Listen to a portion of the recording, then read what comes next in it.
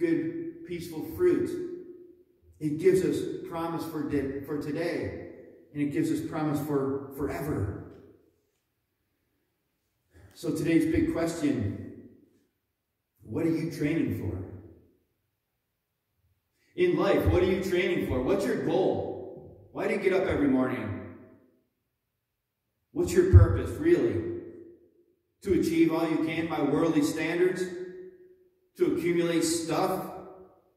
Popularity, Facebook likes? Have a good time? Maybe you really don't have a goal. Maybe you're just stringing together a bunch of days. Maybe you're just stringing together a bunch of random events. Whatever happens, happens. You're just trying to get through life. Maybe that's it for you. Maybe that's you. I'm here to tell you there's more. So much more. God loves you. And He has a plan and a purpose for your life, and He wants you to, to know it. He wants you to train in it. He wants you to stick with it.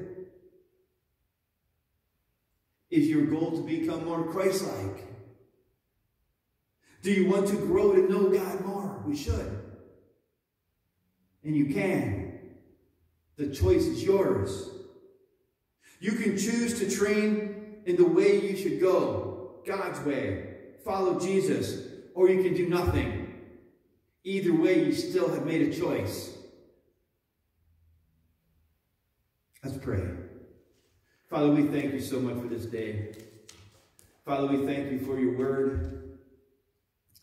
Father, we thank you that you want us Christians, children of God, your children.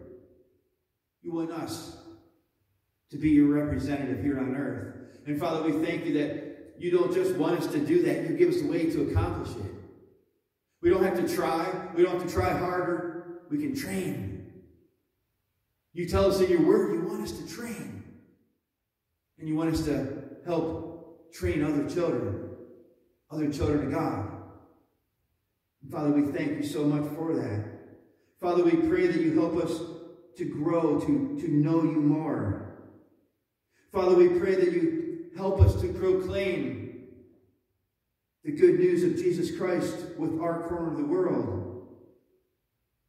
And Father, we pray that you help us to train others to do the same.